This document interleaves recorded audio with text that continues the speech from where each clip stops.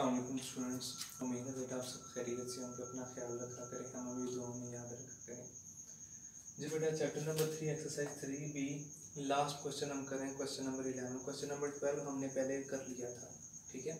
Last question है, ये है डिविजिबल बाय फिफ्टीन बेटा, हमने ये देखा है डिविजिबिलिटी रूल में कि जो भी नंबर थ्री का मल्टीपल है उसको हमेशा स्प्लिट करके हमने सॉल्व किया। मतलब स्प्लिट करने से मुराद क्या? जब हमने सिक्स के लिए डिविजिबिलिटी चेक की तो हम कहते थे वो नंबर थ्री और टू पर डिविजिबल होना चाहिए। लास्ट जो हमने लेक्चर लिया, उसमें हमने ये देखा कि जो नंबर ट्वेल्व था, उसके लिए क्या था कि वो थ्री और फोर पर डिविजिबल होना चाहिए।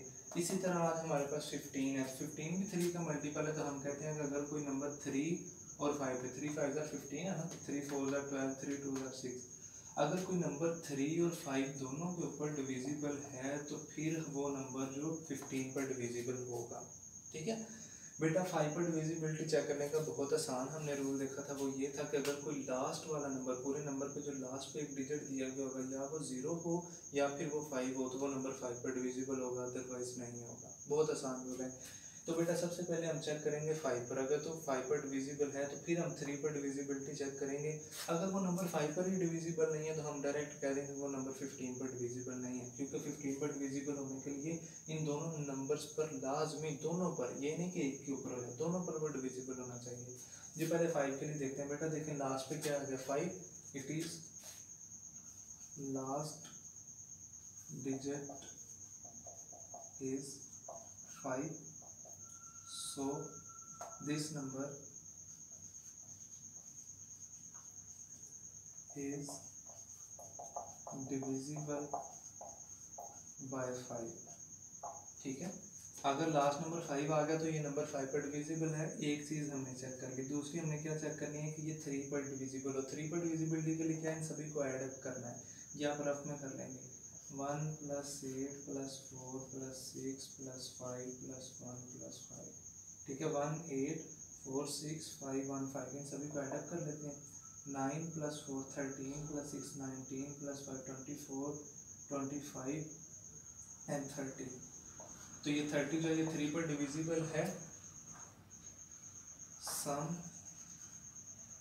इज़ इक्वल टू कितना है thirty so this number one eight four six five one five is divisible by three ये जो सम थर्टी था, ये डिविजिबल है थ्री पे। इट मीन्स ये नंबर जो है, वो थ्री पर डिविजिबल है। फाइव पर भी डिविजिबल हो गया थ्री पर भी डिविजिबल हो गया। हैंस तो फिर क्या है ये number eighteen four six five one five is divisible by 15 is it okay बेटा? कि हमने क्या चेक किया? सबसे पहले हमने चेक किया, क्या ये नंबर फाइव पर डिविजिबल है? हमने कहा, जी last digit five it means ये फाइव पर डिविजिबल है। फिर हमने इन सभी को ऐड कर लिया, ये आया थर्टी हमने लिख दिया sum is equal to thirty so this number is divisible by three ये फाइव पर भी डिविजिबल हो गया थ्री पर भी डिविजिबल हो गया इट मीन्स ये पूरे का पूरा नंबर जो है, ये फिफ्टीन से डिविजिबल है। ठीक है? नेक्स्ट पार्ट देखें। इसमें बेटा देखें लास्ट नंबर क्या है? वन तो हमने क्या किया था? फाइव के लिए चेक करने के लिए क्या? या तो लास्ट पर ज़ीरो हो या फाइव हो, हम कह देते हैं बिकॉज़ या फाइव पर डिविजिबल नहीं है ना?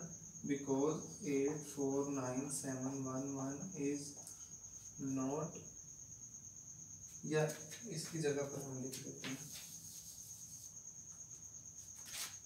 last digit is not divisible by 5 लास्ट वाला डिजिट फाइव पर डिविजिबल नहीं है. So this number this number eight four nine seven one one is not divisible by fifteen देखा बेटा? अब वो हमने इसको डायरेक्ट चेक कर लिया अगर ये फाइव पर डिविजिबल नहीं है, फिर हमें थ्री पर चेक करने की ज़रूरत ही नहीं है, ठीक है? क्योंकि दोनों के लिए लाजमी ना कि ये नंबर इन दोनों पर डिविजिबल हो। तो फिर अगर हमने फाइव के लिए चेक किया, वो फाइव पर डिविजिबल नहीं था, हमने डायरेक्ट कह दिया कि ये नंबर जो है, ये फिफ्टीन पर डिविजिबल नहीं है। अब कुछ क्वेश्चन ऐसे हो सकता है कि ये लास्ट पर जो डिजिट है वो फाइव पर डिविजिबल हो, लेकिन जब इन सभी को एडअप करें तो वो थ्री का मल्टीपल ना हो। जैसे इधर हुआ ना कि ये फाइव पर डिविजिबल है, अगर इन सभी को सम करते लेट्स कोई इधर थर्टी वन आ जाता। तो वो थ्री पर डिविजिबल नहीं था तो हमने कहना था ये नंबर जो है वो फिफ्टीन पर डिविजिबल नहीं है। इज़ इट ओके इसके जो रिमेनिंग टू पार्ट्स हैं बेटा, अब आप वो आप लोग वो करेंगे ए और सी मैंने कर दिए। आपने होमवर्क में क्या करना है? बी और डी पार्ट करना है क्वेश्चन नंबर इलेवन का।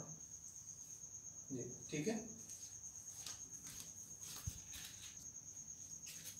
जी बेटा। अब हम नेक्स्ट एक्सरसाइज देखते हैं चैप्टर की एक्सरसाइज थ्री सी ठीक है?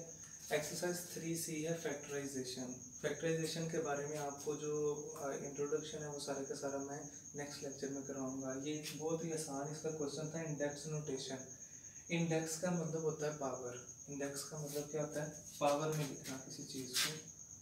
पावर अब देखें कहता है इसको आप इंडेक्स नोटेशन में लिखें।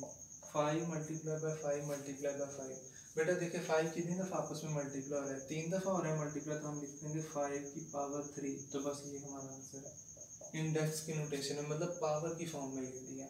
अब नेक्स्ट क्वेश्चन देखें। Two two five five five five and seven two कितनी दफ़ा बेटा यूज़ हो रहा है? वन एंड टू टाइम्स तो हम लिख देंगे टू की पावर टू फिर मल्टीप्लाई अब फाइव देखें कितनी दफ़ा यूज़ हो रहा है? One two one two three four four times use हो रहा है। तो हम लिख देंगे फाइव की पावर फोर मल्टीप्लाई सेवन कितनी दफ़ा यूज़ हो रहा है? वन टाइम यूज़ हो रहा है। तो इसको सेवन एज इट इज़ लिखा रहने दें, क्योंकि जो नंबर वैसे पड़ा होता है, हमेशा उसकी पावर में वन ही होता है, ठीक है? तो हमें इसको लिखने की ज़रूरत नहीं होती। टू को हमने टू टाइम्स लिख दिया फाइव को हमने फोर टाइम्स लिख दिया सेवन को वन टाइम लिख दिया तो ये हमारा आंसर है। देखो बेटा, बहुत आसान बात थी।